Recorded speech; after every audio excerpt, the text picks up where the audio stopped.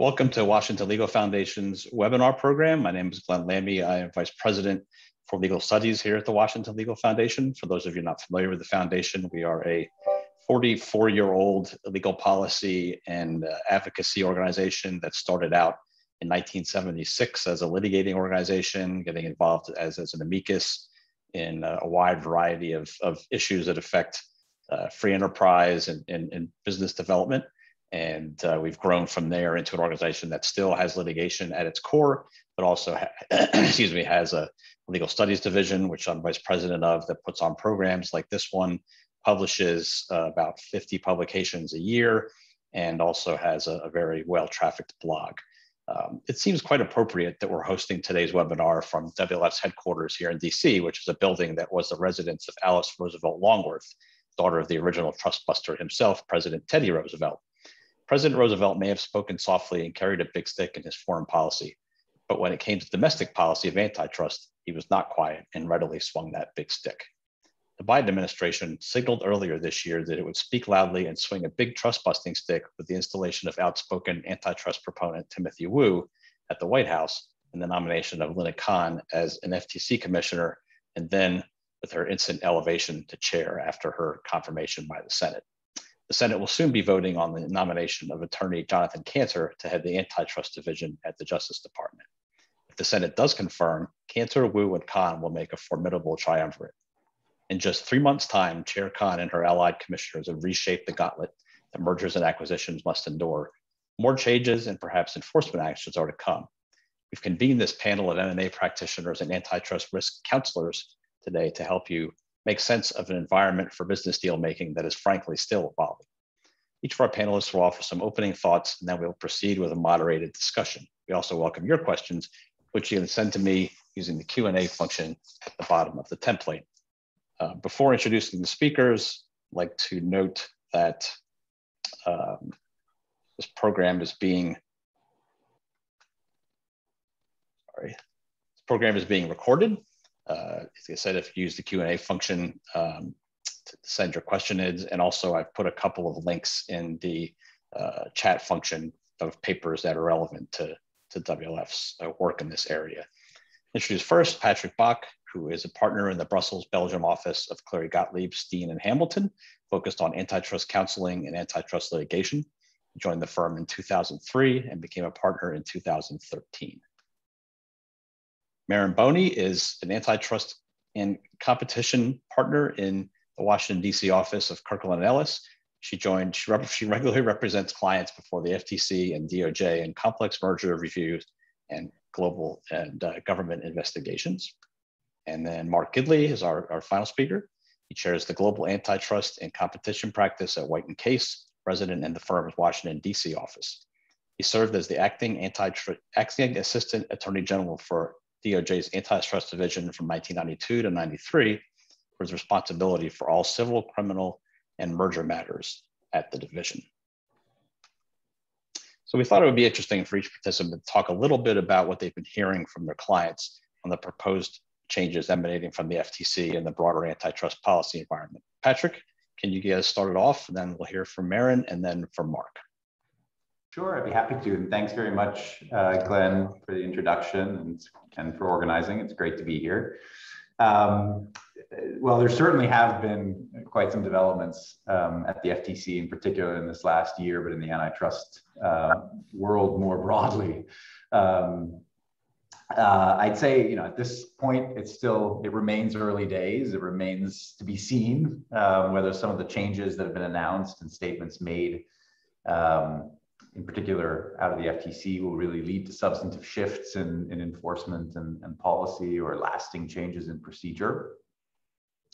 That said, I do think that clients have been made uneasy um, and in some cases really frustrated by changes that have either withdrawn established guidance without replacement or appear to be increasing bureaucratic hurdles without any real reason or, or purpose.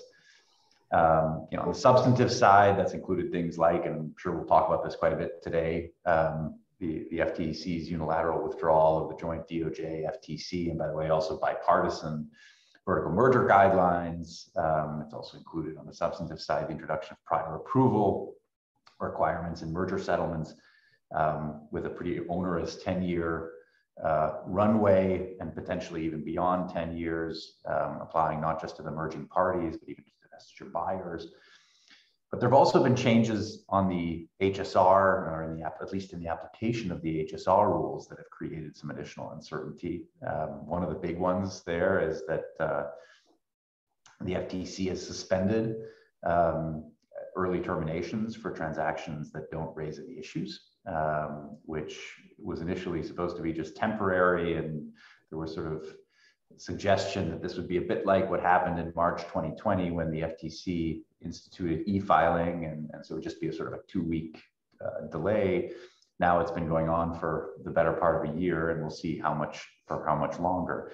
But of course, about 50% of all transactions are, are in the past were did qualify for early termination and just didn't represent any, any issues and all of those transactions have now resulted in a drawn out, uh, a drawn out at least full 30 day review.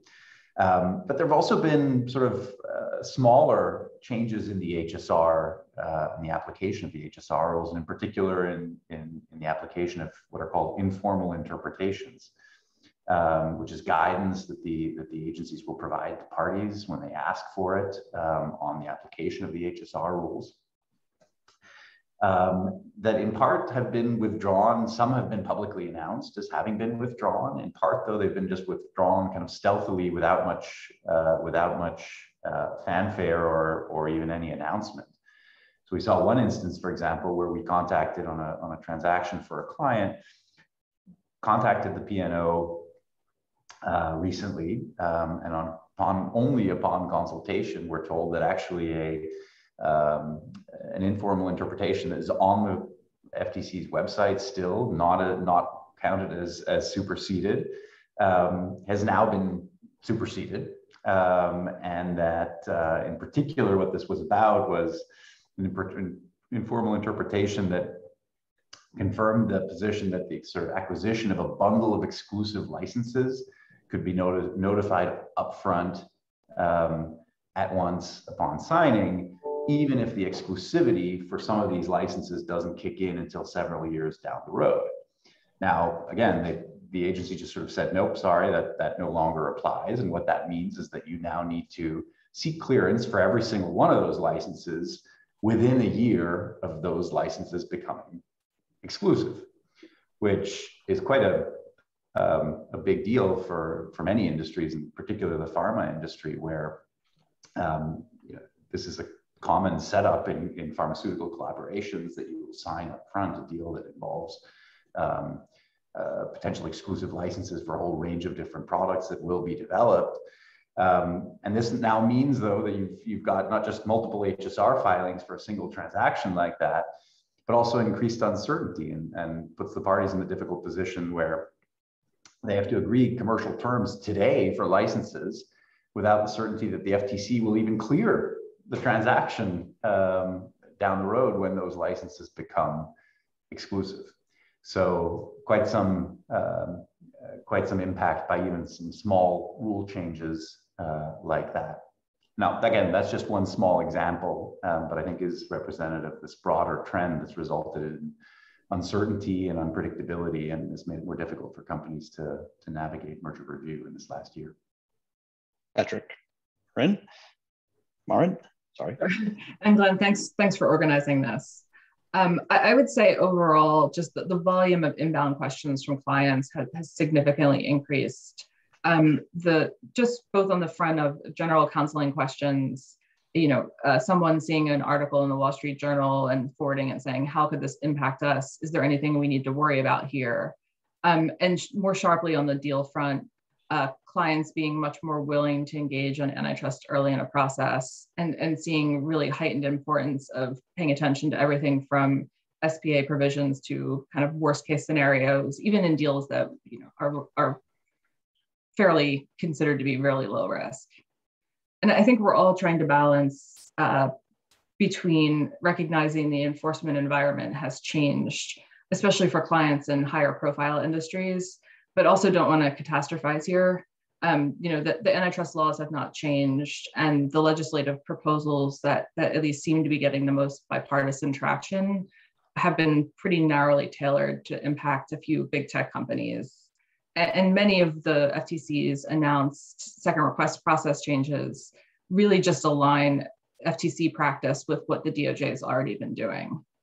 What, what strikes me as what has really changed is the rhetoric, particularly on the FTC front, just getting an uh, overarching sense that the commis- commissioners in the majority think that mergers are somehow inherently bad for the economy and that companies that want to engage in M&A activity are, are likely to be inherently bad actors.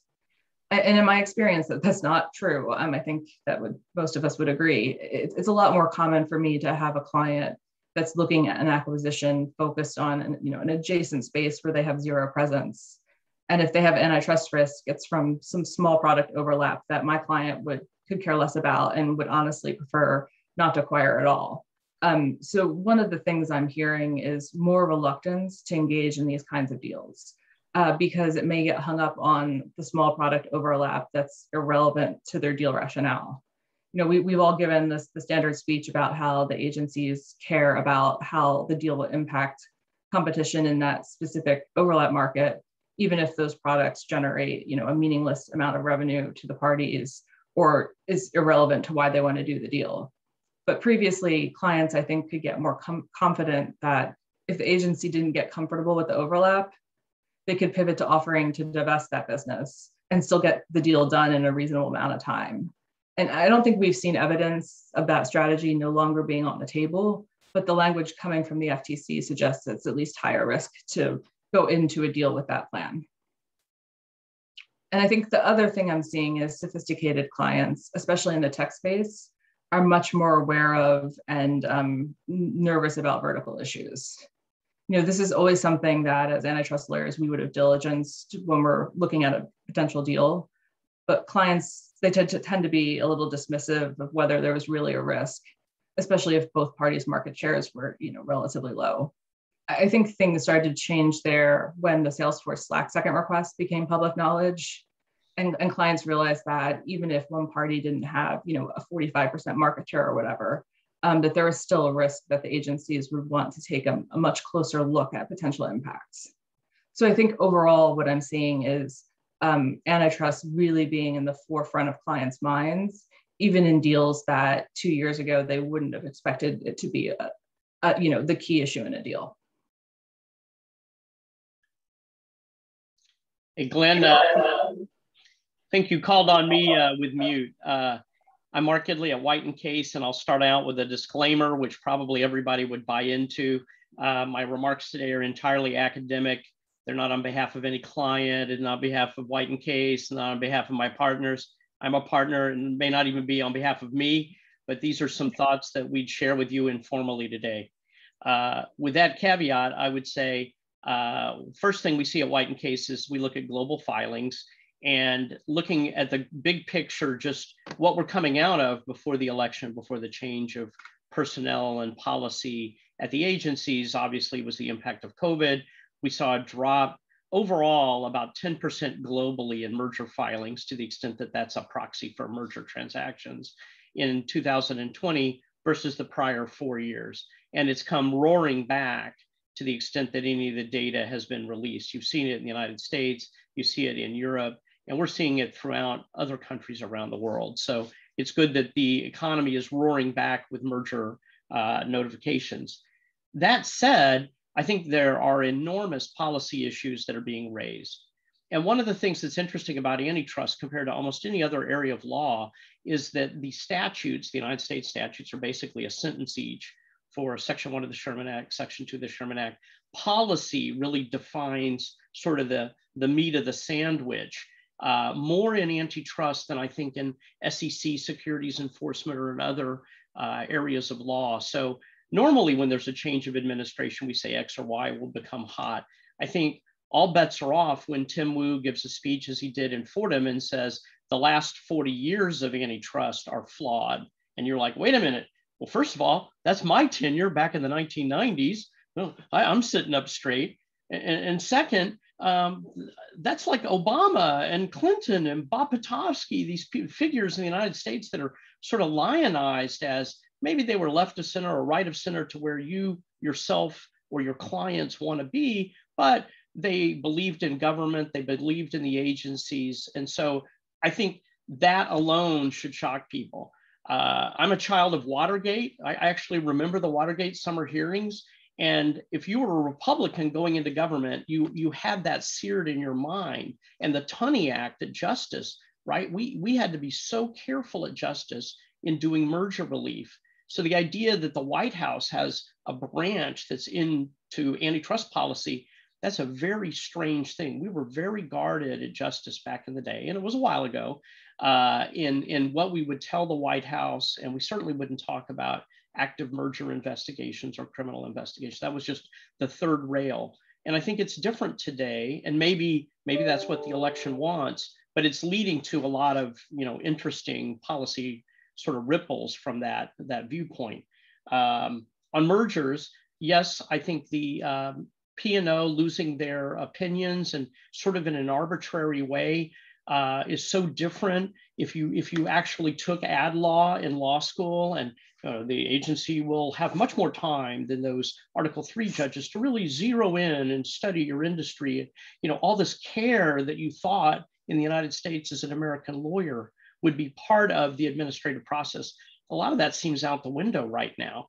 Uh, second, the early termination thing, our clients, of course, chafe at that. There are a lot of filings that are just, you know, some kind of, you know, change of ownership between two different owners. There's no strategic issue at all. And there they are. They have to wait 30 days. And that's basically a tax on the economy and on the free flow of, of goods and, and, and you know, uh, company control. I think another thing that I would always point out to people is, you know, this sort of rhetoric against mergers has consequences. If there are barriers to exit, I can't sell my business. Well, if you think about it, and this is a Chicago school thought, but I think mainstream economists on both sides acknowledge the phenomenon. If there's a barrier to exit, it can become a barrier to entry. The capital won't flow if you look at private equity, they may have very defined time periods for exiting the investment. If they can't exit by selling, uh, or it becomes much more cloudy, then the predictable case before they make the acquisition, which itself might have been very pro competitive, is out the window. Finally, I do a lot of thinking, maybe I shouldn't, about due process and extraterritoriality.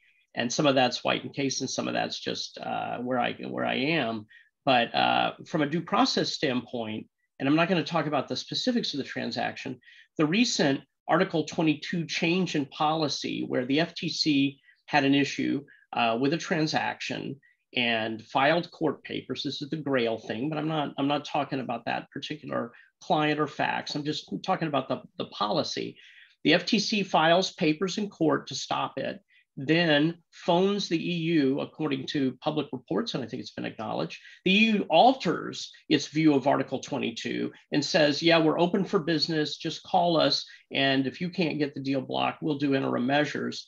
And then, you know, all of a sudden now your, your transaction stuck in flypaper. If your transaction didn't have a nexus to Europe, that's a very interesting and I think very troubling, uh, alarming development. And we in the merger world have been worried about that with little countries saying, you know, here I am, you've got $15,000 in sales, but I'm going to, you know, I want, I want a filing and uh, I may not have the most transparent process.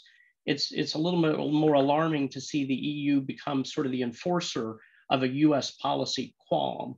You know, my view is if the US government has a problem with the merger, present your case in court. That's sort of the notion of due process that we have. And I think there's a constitutional right to that too, by the way, from a property standpoint. So I'll get off my stump, but uh, I, I, think that the extraterritorial issues uh, with what we're seeing in that case are very troubling and give me a lot of pause. Anyway, I'll stop there. Thank you everyone for your opening thoughts. Um, one thing Mark noted was that there has been an increase in, in uh, mergers in terms of, of filings. Um, one of the reasons why the FTC chair and her, her like-minded colleagues have stated that we need changes in the rules um, is that we've seen a rise in anti-competitive mergers. Marin, in your opinion, has the commission really provided an adequate sort of support for that supposition, or, or is that something that's that's yet to be seen? Yeah, I, I, think on the sheer number of mergers, that the evidence is there. And, and, to be fair, the volume this year has been unprecedented. Um, on the more anti-competitive deals point of that statement, I, am not really sure what the, the metric is there. Um, the agency enforcement levels over the last couple of years have seen a, slight uptick, but, but there's nothing dramatic that suggests a major shift. Um, it, it's unclear whether Chairwoman Khan was including in the anti-competitive deals bucket transactions that receive clearance subject to a consent decree. Um, as I mentioned, some of the statements from her and others of the FTC have implied that um, companies that sign deals that they know going in will require a remedy are somehow doing something wrong. Um, and so this might be part of what she was talking about in the, the anti-competitive deals, you know, uh, rising rapidly. Uh, we, we do have some insight into her thinking because of her academic work prior to the prior to being nominated to the FTC. And some of the policy statements that the FTC has released, like the statement rescinding the, the vertical merger guidelines, they have regularly cited to empirical studies. Um, but largely, there's not um, a, a, lot of uh, empirical support or, or studies uh, or guidance for some of the more the newer theories that we've heard the FTC is considering. Um, but I think the private bar is largely trying to understand how they would fit into the, the current metric of the antitrust laws.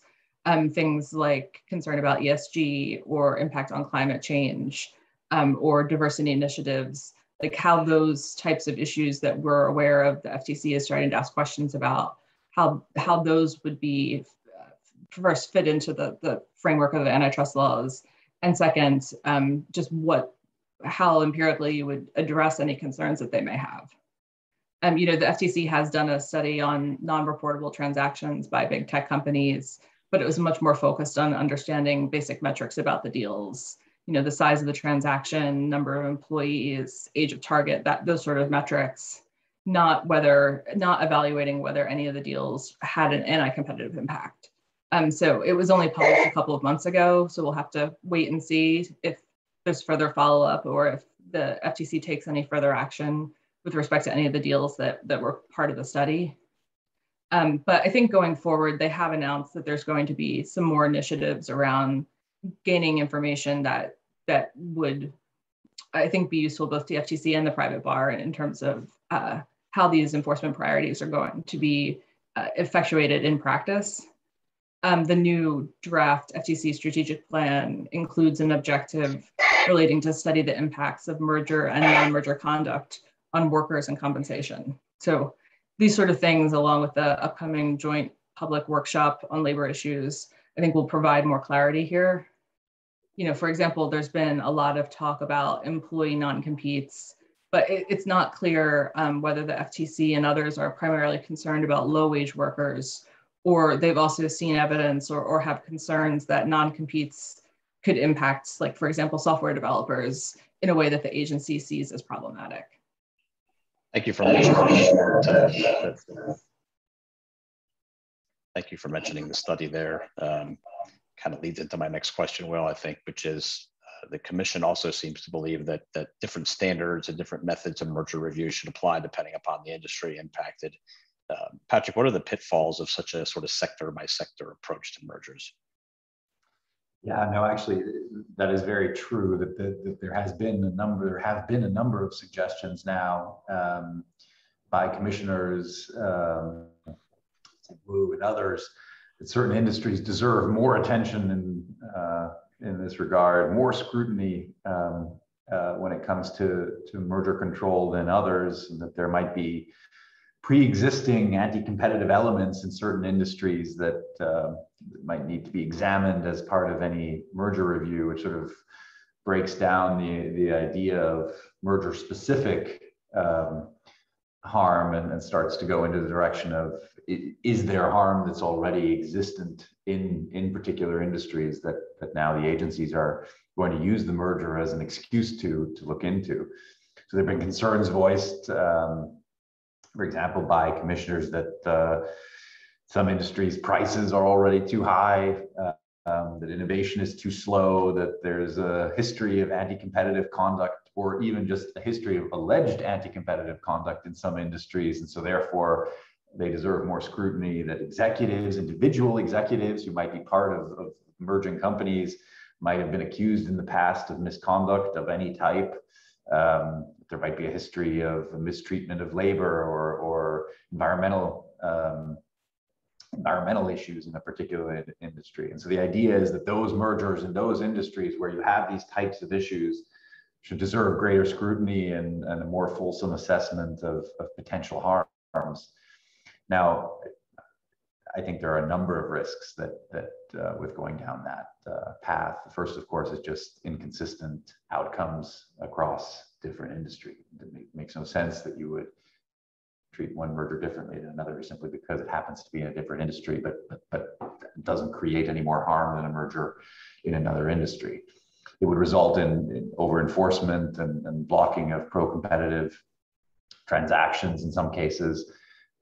You know, transactions that will bring serious benefits to consumers faster in the pharma space to go back there, life-saving benefits even to, to consumers and this whole inconsistency will also just create more uncertainty uncertainty as to what facts and evidence the agencies actually intend to consider in any particular industry. Will they consider different facts and evidence of harm in one industry versus another? You know, if the scope grows beyond simply looking at overlap areas or potential foreclosure concerns, where are the boundaries um, from one industry to another? Are they different from one industry to another? uncertainty as to timing. In fact, we've seen now a couple of relatively no issue or very low issue um, PE deals that have now resulted in a second request in the last couple of months. And there again, you know, should you assume that just because you happen to be in a particular industry, you might almost by definition go to a second request, even with a no no issue deal? And then of course uncertainty also as as, as regards remedies. So I think all of this just to go back to point that Mark made earlier, is just a, a tax on, on the economy, a tax on pro-competitive transactions and, and uh, risks really creating inefficiency and, and delay. Thank you. Um, one process change that's received a lot of attention is the FTC's return to so-called prior approval provisions in merger merging party settlement agreements. Marin, can you explain the significance of this process change? Sure. Um, so just as background, these, these are provisions that can be included in a consent decree where merging parties agree to divest certain assets in order to get the deal cleared. Um, the FTC recently announced it is going back to a pre-1995 policy that it, so at least some consent decrees will impose prior approval requirements both on the merging parties and on the divestiture buyer. Um, the, so the merging parties will need to get FTC approval for deals in certain product and geographic markets, which may be broader than the product geographic markets uh, covered in the consent decree. And divestiture buyers will need to get prior approval before selling the divestiture assets to a third party. So I think the impact here is it's clearly going to make divestitures more challenging, but how much and how great the impact is will really depend on, on the details so far we only have a few examples, so there's not much information going on.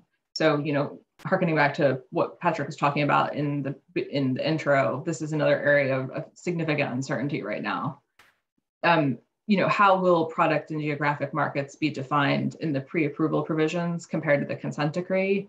Um, the three examples that um, we have so far were for dialysis, dialysis centers, supermarkets, and generic drugs you know, product market definitions in, in these industries are, are fairly straightforward. Um, it's be interesting and really informative to understand how this will be implemented in a matter like the FTC consent last year that ordered divestiture in entry level on premise sparkling wine, um, or in a, a, technology market where market definitions can sh shift considerably over the typical 10 year consent decree period. I think the second key question um, is going to be will uh, will there be carve outs for where prior, prior approval is not needed if the relevant deal would already require an HSR filing? And the issue here is, you know, obviously the, the HSR process has statutory timelines that merging parties can plan around.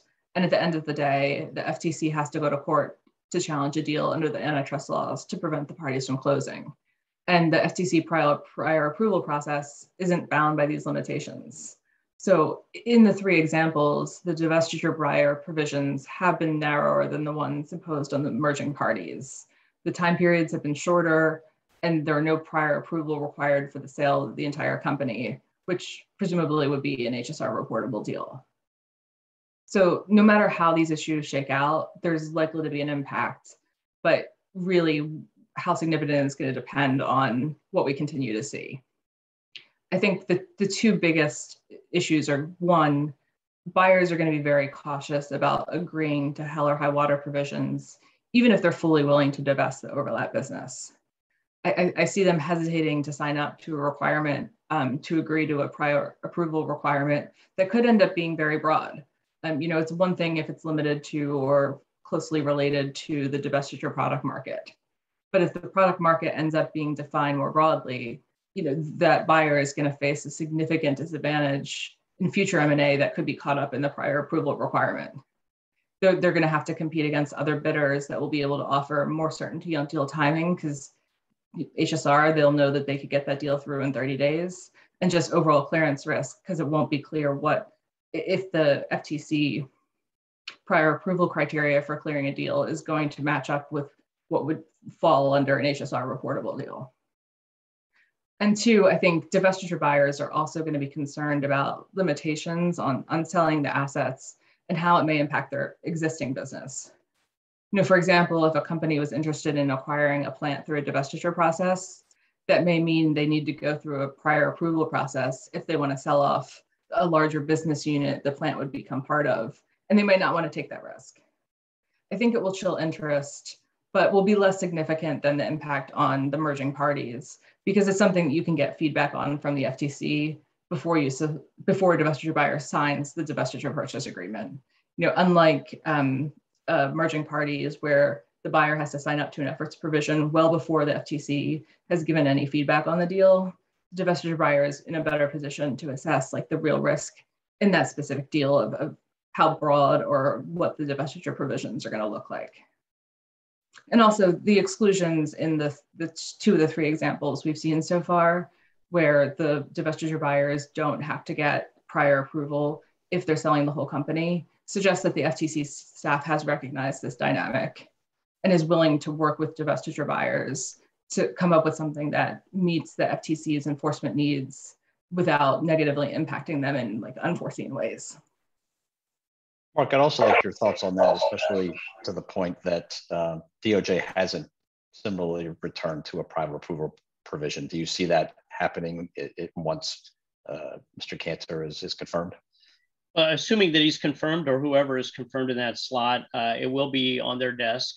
Uh, part of me thinks that there's a symbolic action of I'm I'm do, getting rid of you know I'm I'm going to be the tough person and, and, be tough on prior approval.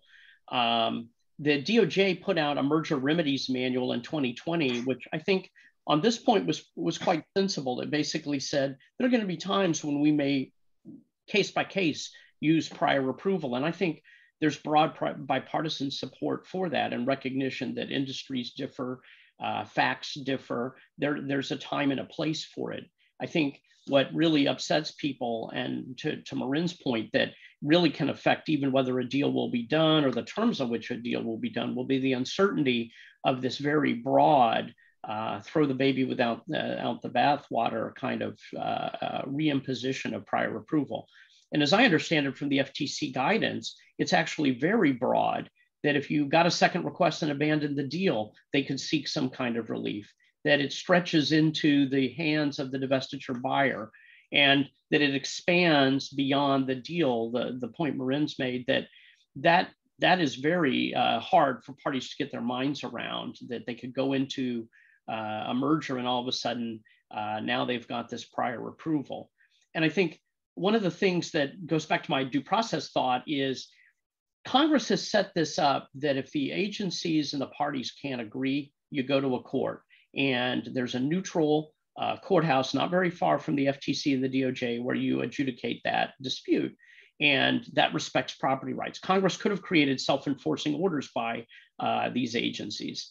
Um, you know. So at any rate, I, I I'm I'm concerned by it. We'll see what DOJ does.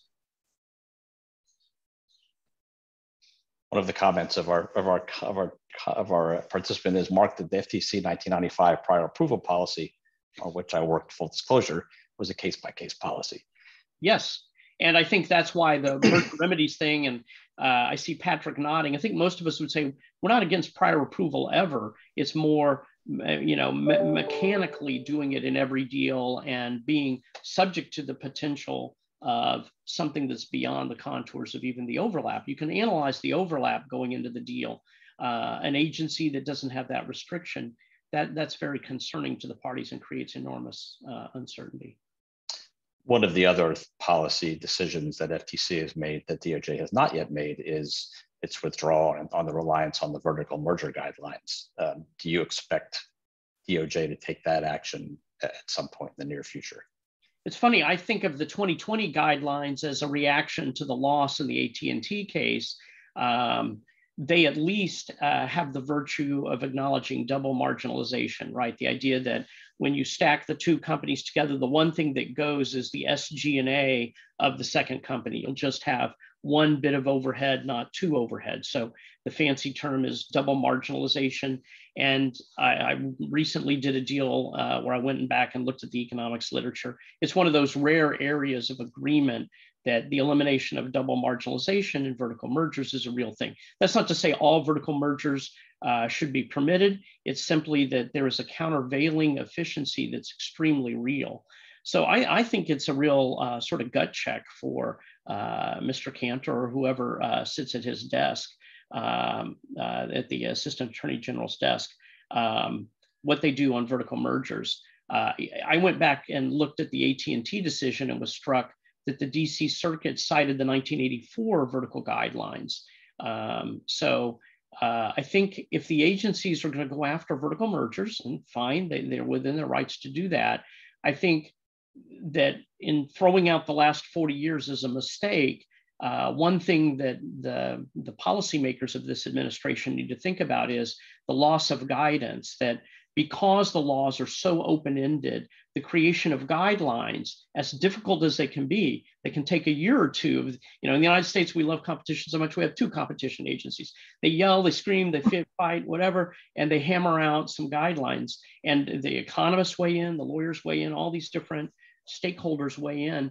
At least that's something that we lawyers can tell our clients and show our clients. And I think when you go to no standards and no guidelines, one thing the government, uh, I think, is short sighted about is the private bar does a lot to enforce the antitrust laws and to help companies comply with the antitrust laws. And that's not just wind, we all do it every day. And when the guidelines go out the window, there's a real loss in not only predictability, but just compliance, uh, spotting the issue and, and helping companies comply. Marin, does the what, was the three commissioner majority's rationale for scrapping the vertical merger guidelines, and it does it really hold up to scrutiny in your in your mind? Yeah, I think there were two main points. One legal, the, the second economic. I, the legal point is pretty straightforward, just that the Clayton Act does not distinguish between horizontal and vertical mergers. You know, the standard is simply just does it does the deal may may substantially lessen competition in any line of commerce the, the, economic point is a criticism of the 2020 VMG's treatment of efficiencies, specifically the, the elimination of double marginalization or, or EDM. um, and the statement challenges EDM both on a theoretical basis and um, in gives some examples where they, they thought that the, the facts as they played out in re reality post-merger supported the, the um, the the challenge of whether or not EDM is pro-competitive in, in reality. And on a theoretical basis, their their focus was really on whether the, the assumptions underlying the model are actually present in any real life situations. And um, the real life examples that they focused on were studies of vertical mergers in healthcare um, that found the, the studied mergers did not achieve the expected efficiencies and also the AT&T DirecTV merger, um, where after the merger, AT&T raised prices. Um, there wasn't a lot of uh, additional commentary on, on you know whether there are other reasons driving those price increases in, in the uh, commissioner's statement, but that was one of the examples they gave. You know, and, as Mark noted, there is a lot of empirical support um, from both economists that you would consider you know, hardcore Chicago school and ones that are, are more um, across the whole spectrum for EDM um, and the, the pro-competitive impacts it can have in mergers. This is another area where there's a real risk of, throwing out the baby with the bathwater. Um, vertical mergers, like all others, are very fact-specific inquiries. And there may be some deals where um, the it is unlikely that the, the parties are, are going to be able to achieve or the, those kind of efficiencies or that just because of structural or market conditions, it's unlikely that they'd be passed down to consumers. But there's a lot of other deals where that is definitely going to happen, or it's, it's, very likely that it's going to happen. So I think that um, it, you know this is just another area where the facts really matter, and the wholesale withdrawal of any sort of guidance um, does make it much more difficult for parties to evaluate uh, what kind of transactions pose risk and um, you know for us to as mark said um, play a role of helping weed out the problematic transactions up front patrick the the, um, the upcoming merger for the proposed merger of, of amazon and, and mgm i think makes a really interesting uh, case study for all of this, especially in the context of that it's Amazon and there seems to be more of a focus on internet platforms and content and, and the access to content and the two-sided market nature of those sort of things. Any thoughts on on how you see that going forward? So it's interesting. I mean, it's it's going to be. Yeah, I completely agree with with Mark and and Marin's comments on know, the, the, fact that this really makes it extremely difficult now to advise clients and the importance of the private bar and, and advising clients on, on, on, transactions like this. Um, yeah, I, I think that what you will see is that increasingly it will just make it more and more difficult for law firms that aren't kind of inside the beltway advising clients on these types of transactions on a day-to-day basis um, to provide the kind of advice that their clients are looking for um, on, on vertical mergers and, and beyond. Um, you know, with respect to the um, to the Amazon uh, MGM case, it is kind of interesting. Um, just after Chairwoman Khan was um, appointed, um, Senator Warren wrote a nice long letter to the chairwoman, um, expressing a number of concerns about the Amazon MGM deal. Um, as I'm sure you can probably guess, those went well beyond traditional foreclosure concerns or overlap areas.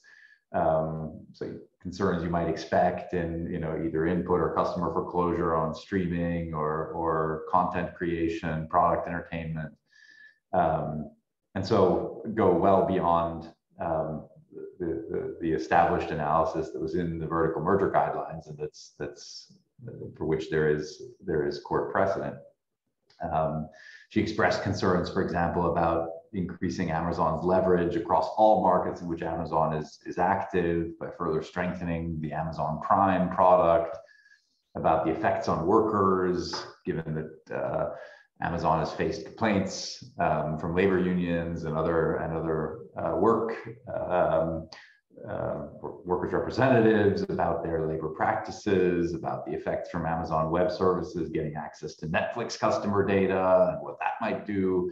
So and so on and so on. I mean, it, it just goes, it, it just, just mushrooms, um, wide range of issues. Um, so I, I think given that and and and other um, and other criticism of the transaction publicly. I think the FTC will now, no doubt, look into all of these different concerns um, and will no doubt feel freer doing so now that they're no longer bound, or at least so they think, by the by the structure of the uh, the vertical merger guidelines.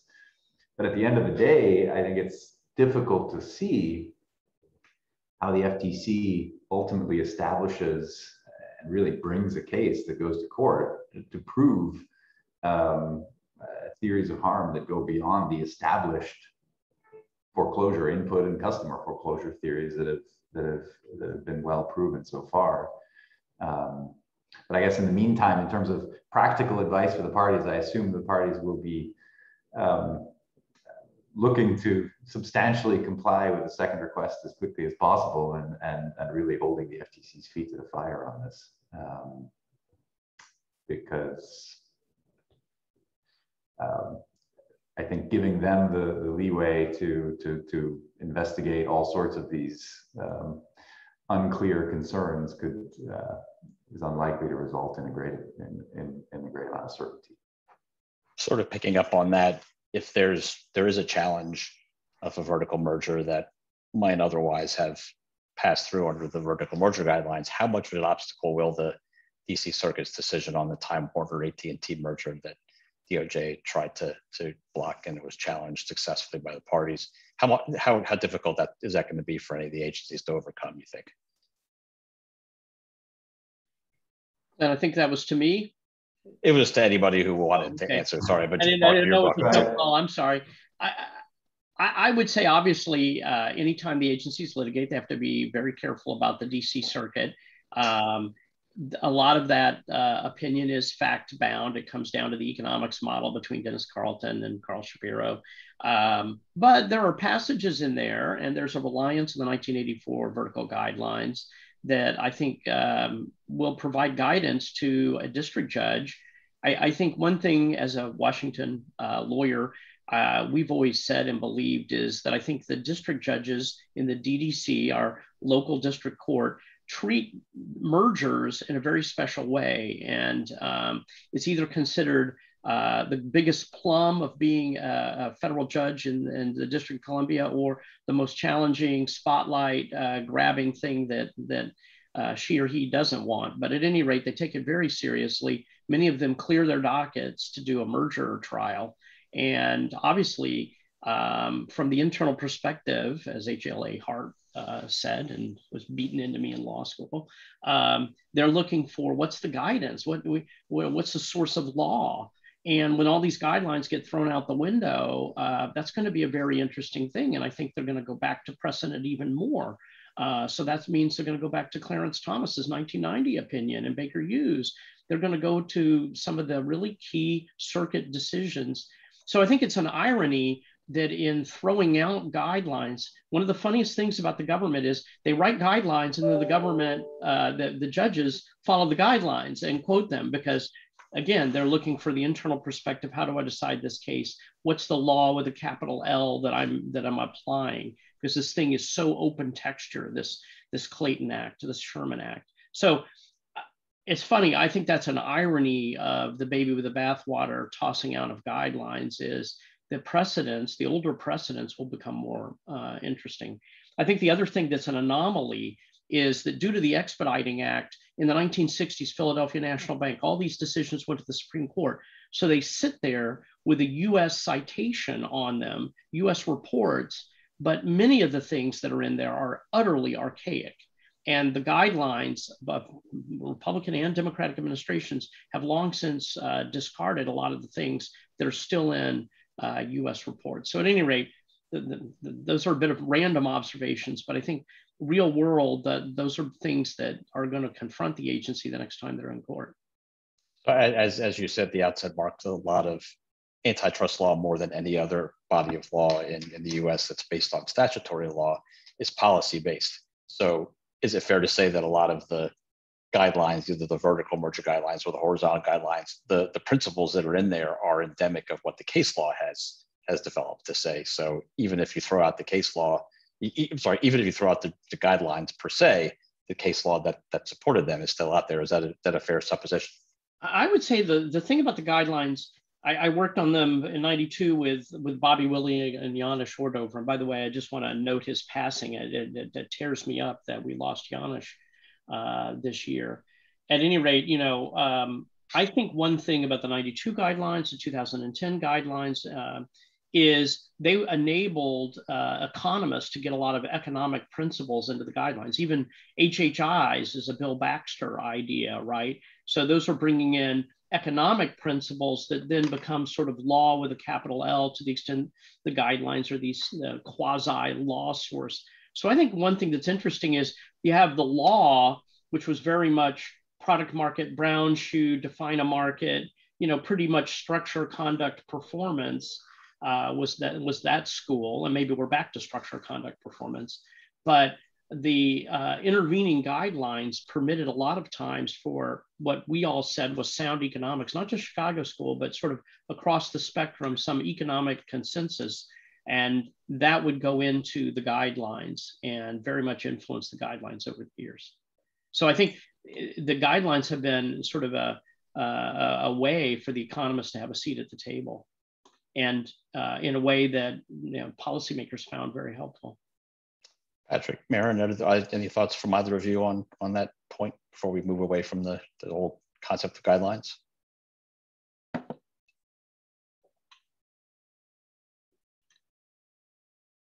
You're still muted. There you go. Uh, no, no, I was just going to say, I mean, I agree completely with what, what Mark said. I think that, you know, uh, again, throwing out the throwing out the guidelines. It's easy to throw out guidelines and without coming up with any without with any other structure. Um, and so the, the, real question to me will now be to see, you know, what do they come up with? There's still language around, oh, we need to, these, these investigations are fact specific, we need to follow the evidence, et cetera.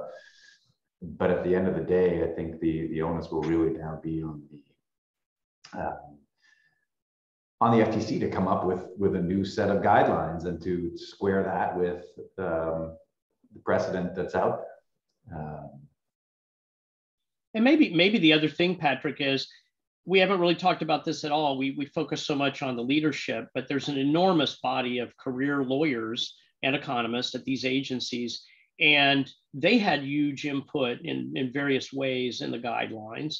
And even apart from the guidelines, if you do a lot of mergers in pharma, you do a lot of mergers at X, Y, and Z, you get a staff that's got a way of looking at pharmaceutical mergers that's based on 8, 10, 20, 50 mergers in that industry uh, and is tremendously empirical. It's not even written up, but it's sort of the lore and, and they, they know it.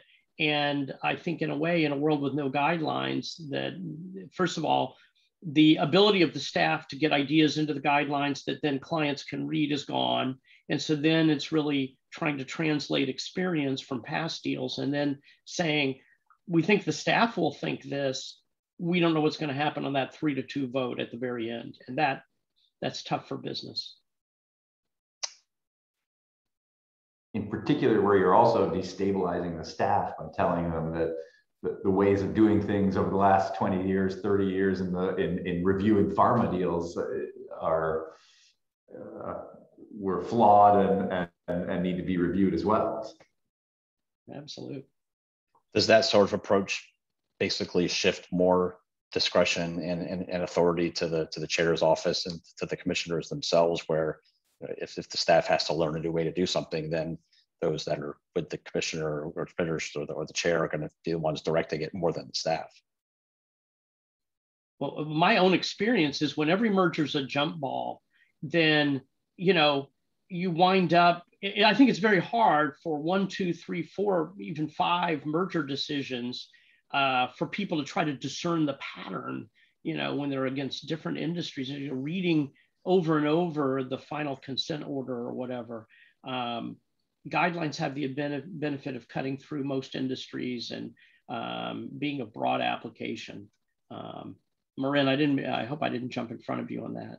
No, I, I, I was just going to say that um, one thing that I, I, noted in the, the commissioner's statement is about when they rescinded the, the 2020 guidelines is they specifically said that they were they wanted to to rescind them before any courts relied on them because I think that there is this strong feedback loop between the agencies developing guidelines that might not necessarily be 100% consistent with court precedent, but then the courts look to the guidelines, cite them, and they become precedent.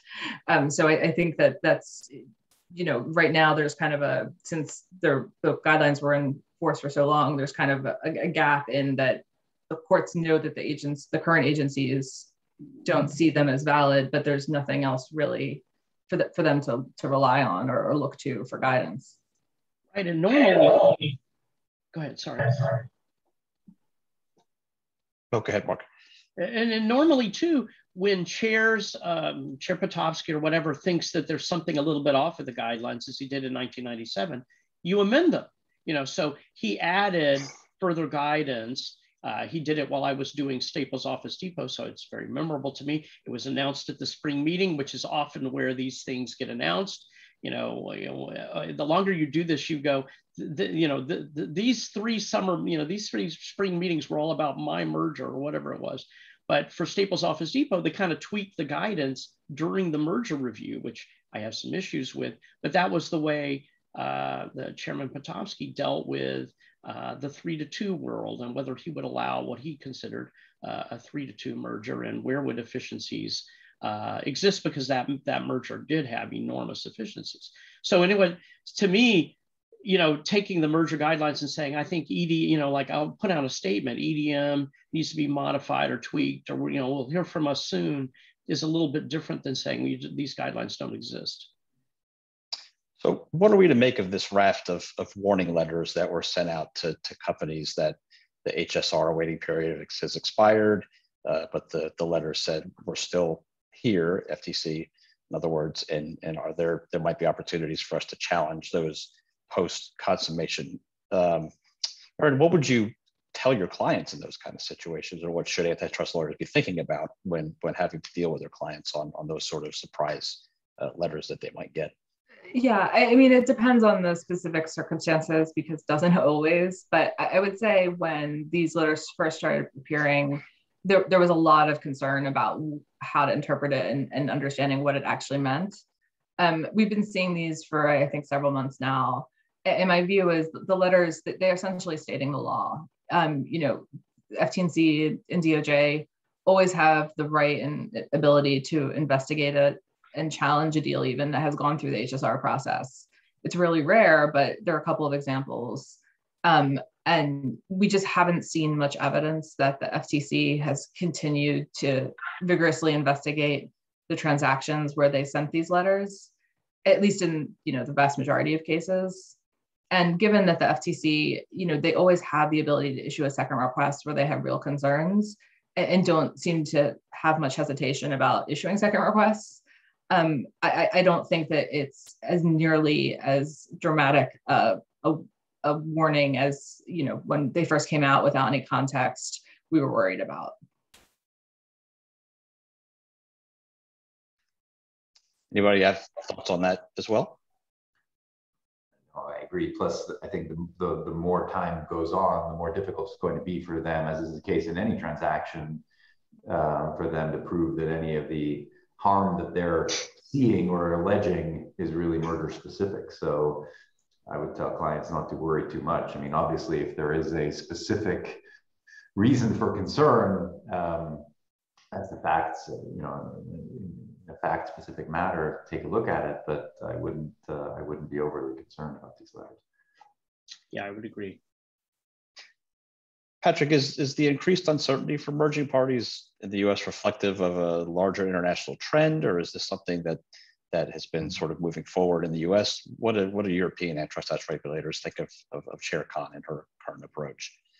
So I might answer your first question, but leave it to the European antitrust regulators to give you their views on, on Chairwoman Khan. No, I think, uh, um, uh, you know, I think it's interesting. I, I, so going back to something that Mark said earlier, um, one of the catalysts for uncertainty in markets outside of the U.S. and with with antitrust um, changes to antitrust rules outside the U.S. has been the U.S. Um, so, you know, this Article 22 point where, um, for example, the, the Commission historically, the European Commission historically had had guidance out there that actually told the party, told um, uh, emerging parties, but also national competition authorities, not to refer transactions to the European Commission under Article 22 of the EU merger rules, where they're not notifiable in the national within the national uh, regime. So the the you know if you had a if you have a merger control regime in Austria and and Austria doesn't uh, require a notification. In that instance, the Commission discouraged and even said that it wasn't appropriate for Austria to be referring a transaction to the, the European Commission. Now, in part, as a result of US uh, pressure to, to, for the Commission to sort of take control of some of these transactions that are just not notifiable at all in Europe, the Commission changed its guidance and said, no, no, no, even if a transaction isn't notifiable, you have a merger control regime in Austria or in France, or you name the European member state, you decide that the transaction might have an impact on trade between the member states. You think it might be somewhat anti-competitive. You refer the transaction to us. We, the commission, can now review the transaction when nobody was otherwise allowed to review the transaction in Europe. And not only can we review the transaction, we can review it for a period, for an indefinite period. They're limiting themselves to six months post closing. But that piece too is, is, is quite astounding because unlike in the US, the Europeans don't have a general ability to, to review a transaction post closing. So that's created a lot of uncertainty um, with, with companies who understandably are worried now that they're going to be faced with a with an in, with a with a review where they'd otherwise assumed there was not going to be any review in in Europe. Um, and it was so clearly tied to the to the Illumina Grail um, case where the FTC was looking to try to prevent the parties from closing, had to go to court to seek an injunction to prevent closing. But as soon as the European Commission started investigating as a result of this Article 22, was able to drop the was able to drop their attempt uh, at, a, at an injunction to prevent closing. So, uh, you know, I think um, it's just one example of the U.S. kind of pushing uh, regulators outside of the US, including the European Commission and, and, national competition authorities in Europe, to add this level of, of uncertainty. You see it in other areas of too. You see it in the in the pharma uh, merger control um, task force um, that the, the US uh, agencies, together with the Canadians, the UK, and the Europeans, have set up, in which they're hunting for new theories of harm in in in, uh, in pharma merger cases and encouraging um, the Europeans and others to, to to come up with new theories of harm as well. Um, you see it in the UK, um, who has been pulling in a whole number of uh, cases under their share of supply test um, that include uh, mergers that don't even touch the UK for the most part. And yet still are being pulled in um, to the CMA. So, you know, I think it is a trend that you're this this level of uncertainty around what antitrust regulators will do is is increasing everywhere, and I, I do think that the U.S. Is, has been a um, a catalyst to to to creating that or having that effect. I want to ask one more question that that sort of ties this to our our last program, which was focused on uh, antitrust policy and rent seeking, uh, where Josh Wright, former FTC commissioner, was one of our speakers. There certainly seems to be, in, an, in a world where you have more discretion at the commission, an opportunity for competitors or if there's multiple suitors for, for a particular company to, to sort of try to use the antitrust laws and the review process to prevent acquisitions and mergers that that they wouldn't necessarily want to see happen. Is that is, it, is, is that a fair statement that there's going to be more opportunities for that under a more uncertain, more multi sort of layered um, approach by the FTC or, or DOJ? Absolutely. Miranda, you want to kick it off? But, yeah, yeah I, I, see this a lot, especially in, in tech deals where the vertical issues would center around integrations with competitors. You, you know, there are a lot of spaces like Martech where everybody integrates with one another. It's just part of the business model. It, it's not, there's really no rationale why companies would be, would be able to stop doing that. Um, but the, I, I, think the staffs are really good in, in horizontal deals at filtering out uh, things competitors are saying to them for valid reasons and things that um, might be motivated by other causes um, versus in the in the vertical realm where the competitors may have a more valid concern i think it's a lot harder for staff just to, to vet um, statements that are self-motivated and really there's no problem with the deal. They just want to throw rocks at it versus, um, you know, just parsing through that, I think is a lot more challenging when the competitors are the, the ones you're worried about being harmed by the deal. Yeah, I, I would say, I, I, would say, Glenn, that uh, from my standpoint, one of the big questions to ask yourself at the end of 2021, early 2022 is, is antitrust politics or is it policy? Is it law?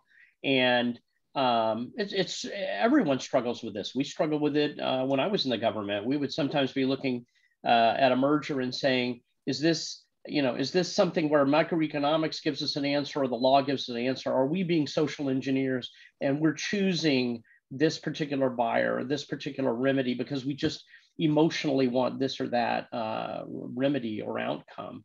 Uh, and you always tried to go back to the guidelines or the law and really uh, do the right thing. But that was always sort of the line. I think, first of all, when you go to all the dimensions that Marin mentioned of, you know, ESG or climate or labor, uh, we're no longer in the 40 year consensus, 50 year maybe consensus of just looking at consumer uh, harm. Will there be an increase in prices either at the producer level or the consumer level uh, because of an increase in concentration, and that depends on the on the particular merger. When that's not the litmus, I think you're going to see more opportunities for competitors to complain, and I think uh, it's it's a boon day or boon times for government relations firms who can create a political football out of anything. And if there are enough economics uh, at stake, uh, they will be busier than ever. People used to joke that the 92 guidelines and the 2010 guidelines we're a full employment act for economists. I think as you increase uncertainty, if you did a little graph, then the government relations firms and PR firms get more involved. And it does become more, more like politics and what's popular. And I, I think, you know, if you had Chair Khan in the panel, uh, she might well say the, the popularity of the merger is something I should take into account. So I think, is it a public interest standard or is it a consumer harm standard? Um, those kind of choices are really fundamental in merger policy. Patrick, any last thoughts? No, and, and to add to the to the uncertainty in that world as foreign direct investment reviews are becoming more and more uh, um, important as well in parallel to to um, the, this uncertainty on the antitrust side of things that just further creates the opportunity for public interest to, to, to play a role in in in regulating uh, the review of these transactions. So I completely agree with that. I want to thank you all for joining us today and taking much of your valuable time to prepare and participate in our program today. Thank everyone for joining us as well. Hope everyone has a, a safe and happy holiday season. And, and, once again, thanks very much. Thank you, Glenn. Thank you, Thank you. Thanks for organizing.